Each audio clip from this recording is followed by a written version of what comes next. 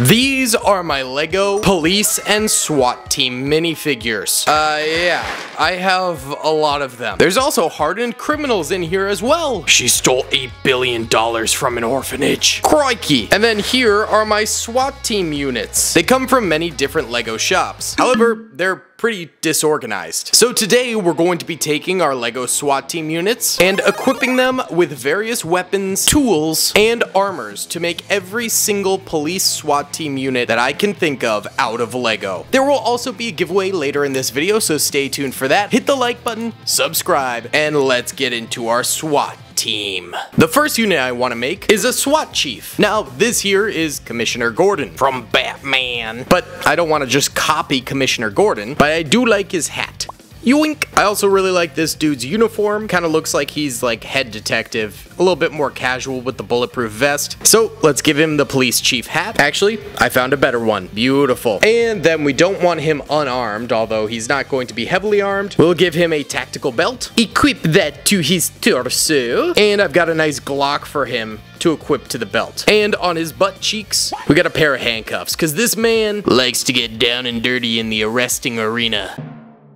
But honestly, in his day-to-day -day line of work, he is much more likely to hang out at a desk and assign roles for other operators. His fighting days are over, to say the least. Next SWAT member that we need to have on the team is going to be the Hard Breacher. Yeah, we're talking like Sledge from Rainbow Six Siege. Obviously, he's got the ski mask on, and that's going to support this nice heavy weapons man helmet we have for him. On top of that, I wasn't joking. He is like Sledge from Rainbow Six Siege, so we're giving him the sledgehammer. And and he can also go ahead and take one of these C4s in case the hammer just isn't quite enough. I don't want him going in without weaponry, so we will go ahead and tuck in a nice little blicky on his side handle right there. So he's good to go. But a heavy breacher definitely needs support when entering any buildings. So we have his sidekick here, the Assaulter. Now the Assaulter has a tear gas mask on, both covering his mouth and eyes, so he can't be stunned. And that's because he comes equipped with flashbangs and gas grenades. That that way, when the hard breacher pushes in, he can flash out, stunning the enemies. We'll also go ahead and give him some night vision goggles, just in case it's dark wherever he's entering. And this guy's probably going to be prone to some close quarters combat. So I have this nice tactical shotgun here, which also actually has a flashlight. So in case his NVGs end up running out of battery, I don't know how NVGs work, he will also have a shotgun with him and a flashlight. And these guys naturally are experts at breaking down doors. So we have a door to a beautiful manor over here. And what? Fell down the steps. Stop it. Get some help. We're gonna have our hard breacher up here, basically breaching through the door, and then we'll have our assault soldier eating a grenade in with the sledgehammer boy to stun any enemies and hopefully prevent them from shooting them up while they try and breach and clear here. Now, this is a dangerous job as it is, so we need to try and make it just a smidge less dangerous for them, I think. That's where our SWAT sniper comes into play to provide overwatch. He is much less kitted out because he needs to be a little bit more mobile, so so he can get to vantage points easier. And then we've got some various weapons for him. Firstly, the Barrett 50 cal here, which does have an extendable bipod. But then we also have this cool L96A1, which you can remove this, take off the little excess plastic, and then there's a little clip in here that you clip this bipod onto. And there's a little bit more factory plastic you can snip right off there. And now is looking perfect. Let's give this boy the L96A1 so that he can do some Overwatch sniping for the guys breaching and clearing. But, you know, he doesn't want to get flanked or anything like that, and he also probably needs someone making the ranges and spotting for him. And that's what my girl Susan is here for. Susan comes with a nice little pair of binocs, as well as a radio, in order to communicate with the sniper, as well as headquarters. So these two can pick the nearest castle ramparts, which are obviously very common in America and position their guns on them and spot from the towers above. Because these boys down here are going to definitely need a little bit of overwatch. Now, the SWAT unit's chief at the headquarters obviously is going to need some way to communicate. So that's where the radio man comes in. The radio operator gets to work in a beautiful little cubicle office, and his name is Phil. And Phil gets to wear night vision goggles because he wants to feel like he's part of the actual action SWAT team. And on top of that, he's balding, so there's that. But Phil knows Windows 10 like nobody's business and is the perfect radio man to talk to the soldiers in the field. But who trains these soldiers in the field? That would be our boy Gus. Gus here used to be a SWAT operator, however, he quickly realized that wasn't for him anymore. And his luscious locks could potentially get clipped in the field, and he just couldn't have that. Oh, hell no! Oh, So he swapped out his operator's uniform for the drill sergeant uniform. And he is an expert from all his years of experience. He knows how to use MP5s, MPXs, pump shotguns, just about any assault rifle, MP7s, and even the elusive flashlight. And sometimes he even has a pistol for his operators in case they need the flashlight pistol combo to be like tunnel rats in the Vietnam War. Imagine this is a tunnel and this is the tunnel rat. Oh no, he's too fat to fit through the window.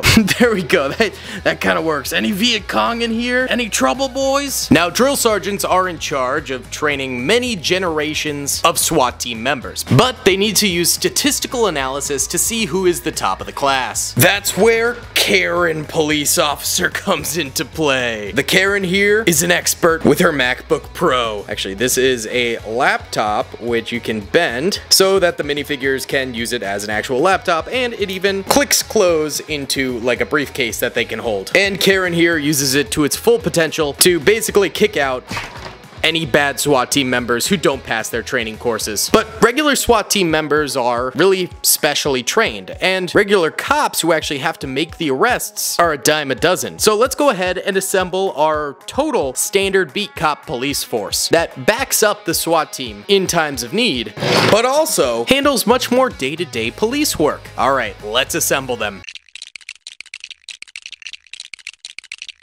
And there we have it, boys. Tons and tons of beat cops have assembled here. Uh, we're talking a lot of troopers. And from multiple different eras of LEGO, of course. You've got like your very, very OGs over here. And then, you know, the newbies who honestly look just 10 times better. And, you know, everything in between. We're, we're talking like 30 years of LEGO police officers right here, which is kind of fun. And honestly, having all these cops here makes me kind of want to try and like make every police officer from every country in the world. I saw during the Olympics that a ton of different countries' police officers were in France, just as like a little for fun thing that the police community around the world was doing. That that could be really cool to do in LEGO. But these police officers mainly make arrests, hand out tickets, speed checks, etc. And sometimes they get in a little bit over their heads. That's where the SWAT team comes into play. But especially when it comes to prisoners. Get out of here. When prisoners start to riot, you know you're in some trouble. I mean, look at this dude's face. Would you really want to go face to face with him when he's angry? When he hasn't gotten his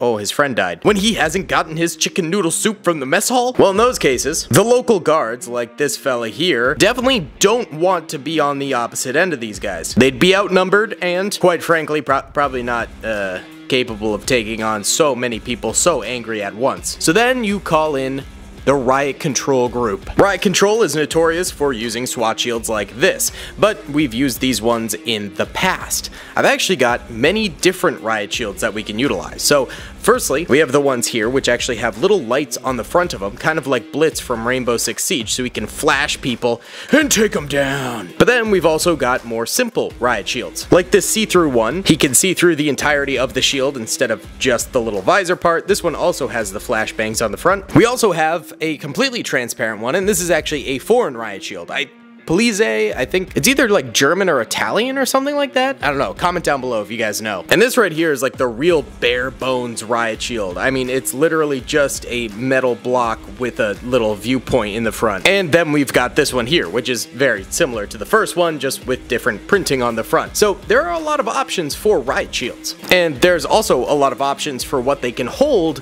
when they have said riot shields. I mean, you can always use guns. They kind of have to be SMGs or pistols because the riot shields are already so heavy. So something like this with the MP with the silencer and the strap would be easy because he can just hang it over his shoulder when he's not needing it. But, you know, a lot of the times you want to use non-lethal, so let's get rid of these guns. It could be like I'm an evil knight, carrying Excalibur and whatnot. Although that that is also lethal, so that that doesn't really work. There we go, a nice billy club. Although this one is uh, just a Lego bar, which is kind of boring. I'll be honest. Get that out of here. How about this? And hammer. And hammer. That's good grammar.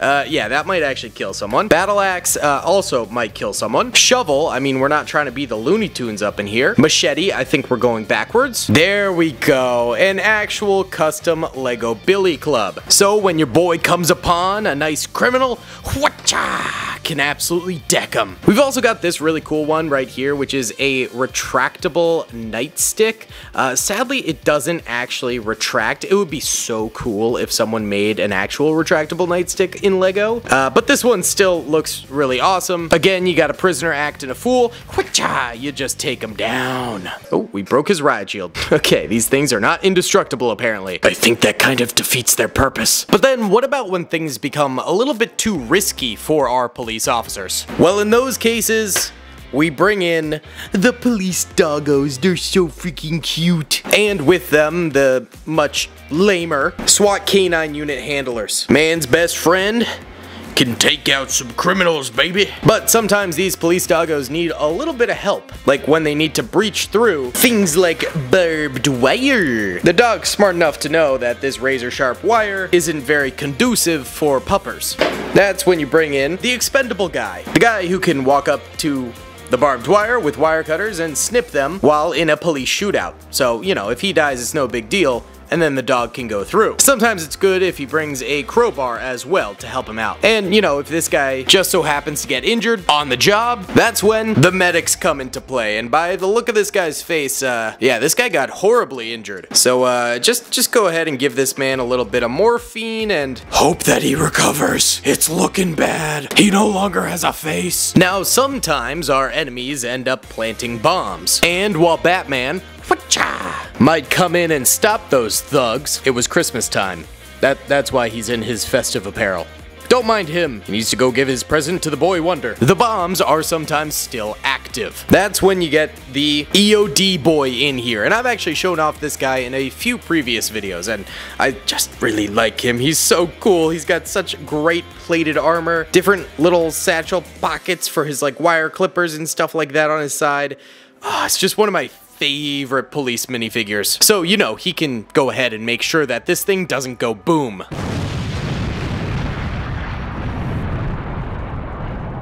Sometimes things just go boom anyway, and quite frankly, you need to then bring in the coroner, who, uh, yeah, just does a little bit of body removal.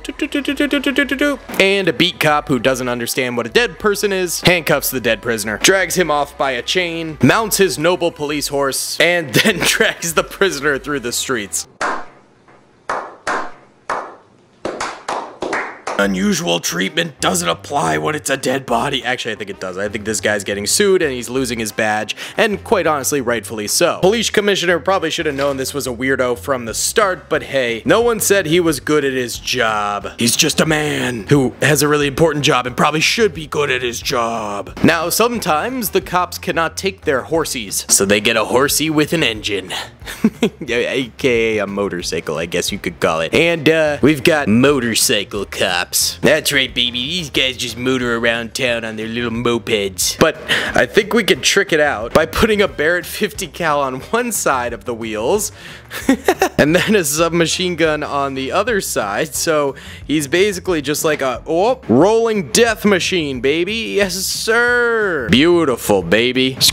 Wow, that actually rolled pretty well. Then, of course, we're gonna want to have some specialized anti-chemical weaponry SWAT troopers. So let's rip off his hat, give this boy a nice filtration system in case he comes upon any mysterious sussy baka chemicals, and equip this fella with a nice little vector submachine gun for close quarters combat because his main duty is to protect his hazmat friend here, who is on the lookout for any poisonous chemicals and stuff like that. And when the SWAT team is inevitably fooled by it just being a puddle of mysterious goopy vomit liquid, then they have to call in the ultimate SWAT unit of them all, the Elite Special Operations Janitorial Staff. Keeping the city clean since 1992 when the Great Vomit Storm hit. Don't ask what that was.